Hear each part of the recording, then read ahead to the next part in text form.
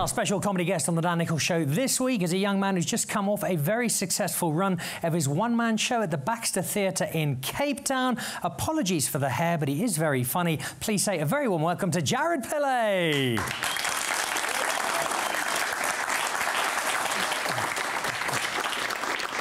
Yo, good evening. How you guys doing? You okay? Cool, man. Uh, like Dan said, uh, my name is uh, my name is Jaryd. Yeah, I, I don't really like that name. I, I kind of wish, I kind of wish when I was born, I, I kind of wish my parents gave me uh, something a little bit more, what you would call culturally appropriate, right? I'll explain. You see, my dad's birth name, right? My dad's birth name is Sada Sivan, right? Sada Sivan. That's a strong Indian name. You know what I mean? And my mom's name, my mom's name is Somagandhi. She has Gandhi in her name. Do you know what I mean? Like, it's a strong name. And then I was born, and they decided to call me Jaryd. How embarrassing. But I figured it out, folks. I figured it out because if you spell my name, it's spelled J A R Y D, right? If you spell my name backwards, it spells D Raj. Thank you. That's all I have left. It's good to be here, man. When I'm not doing stand up, right, I'm usually uh. I don't know if you guys have ever been to an event with an MC, but you usually hear the MC's voice before you see who's behind the microphone. I'm very insecure about the sound of my voice. I don't know why. But every time I'm behind a microphone, you know, every time I'm making an announcement, I feel this presence right about over here, you know. And I can tell, I can tell it's usually an older white lady. Uh, I can smell the cats. I can smell the cats. And, and, uh, and, uh, and uh, she usually says something along the lines of, Oh my word, wow! That's amazing. Wow. How did you how did you learn to talk like that? That's amazing. Wow. No, because you sound so well spoken. You kind of sound like but you, you you know what I mean. What part of Sri Lanka are you from? Wow, that's amazing. And my microphone's usually off at that point, so I say to her, I say to her, You know what, ma'am? This microphone is a magical thing. it's like a magical microphone. Watch, watch, watch. Good evening and welcome to the Dan Nicholl's Show. Good evening, ladies and gentlemen. Welcome to the Dan Nicholl's Show. Did you guys just give me a round of applause for my accent? Oh man.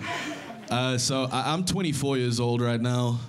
Yeah, I look like I've had a tough life. Uh, I've got the curious case of Benjamin backwards. Uh, don't do drugs, kids. So uh, I'm 24, man. I figured it's time to move out of my mom's house. Uh, I don't know if you guys ever had to deal with real estate agents before.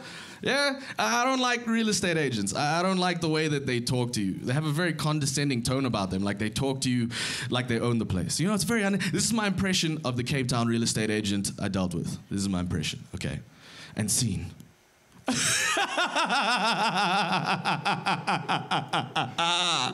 Here we are in Sea Point, a very prominent suburb, Sea Point. On the third floor, mind you, the third floor, if you just look yonder the balcony, yonder the balcony, you'll see the Sea Point promenade.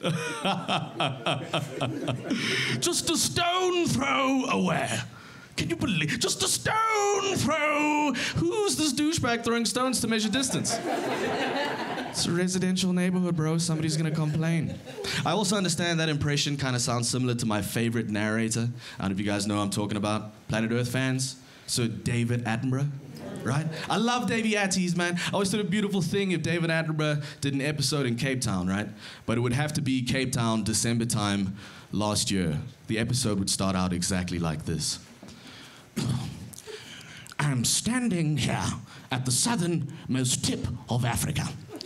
Our story begins on the white, sandy beaches of Cape Town during its festive months. The African butterfly flutters its wings as it hovers above the overly crowded beaches of Cape Town during its December time.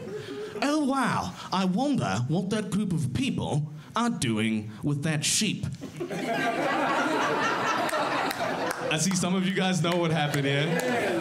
For those of you who don't know, and this is a weird thing because when this happened in Cape Town, like it, it made me feel a certain sense of pride in being a South African, you know? Because if you really think about it, a group of people took it upon themselves, right, to go to one of the most racist beaches in Cape Town, right? And they, they bought a sheep, guys. Ah, man, you don't understand. And they decided to slaughter the sheep to cleanse the beach of racism. What?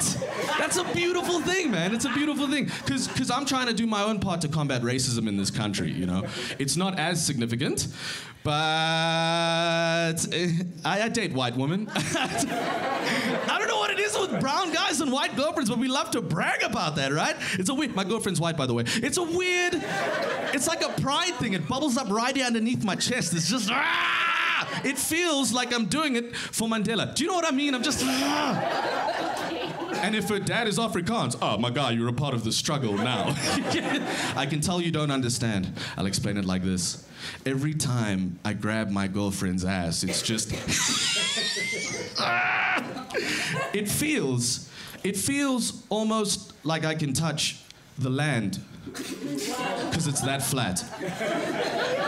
That's my time. My name's Jaryd Pillay. Thank you very much. Enjoy.